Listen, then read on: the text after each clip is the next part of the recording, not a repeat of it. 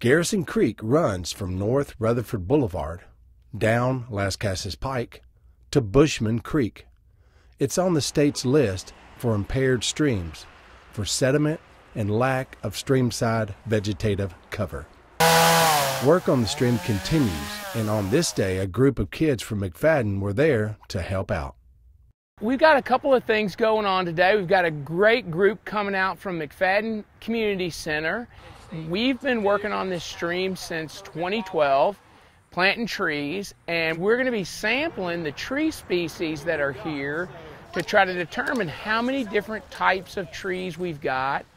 We start walking down through here. All right, you guys see any more trees we want to get? Because of the leaves.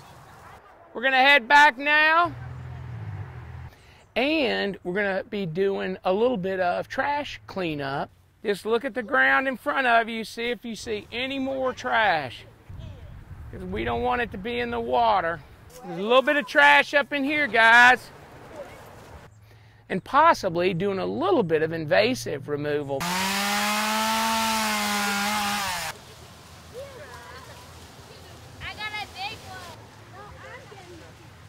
You know, back in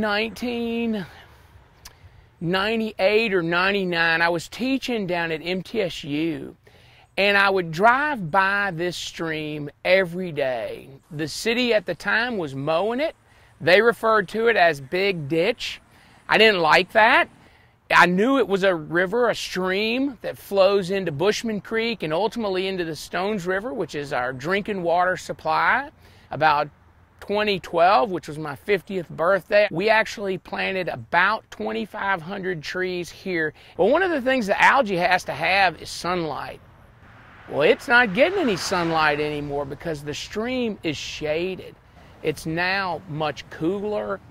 You know, one of the things that we've seen as a result of this restoration project is that substrate has changed drastically in the stream. And a part of that's because the channel has begun to meander within the larger channel of Garrison Creek here. You can see that there's some rocks and things down in there. There's a lot of aquatic vegetation. That's watercress. So that is creating habitat for aquatic insects. And those aquatic insects, which we also like to call fish food, creek critters, those are the beginnings of the food chain in the system. So you can't have fish if you don't have fish food. It's real important to have a diversity in your forest. And that's because if a disease comes, like Dutch elm disease uh, or the emerald ash borer, and you only have one type of tree, you could lose the whole forest. But if you have a diversity of trees, you have a much better chance of having that forest survive.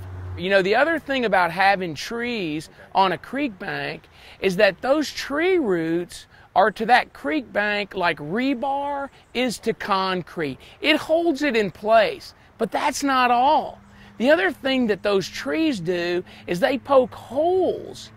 When the trees start absorbing that water, this area literally works like a sponge.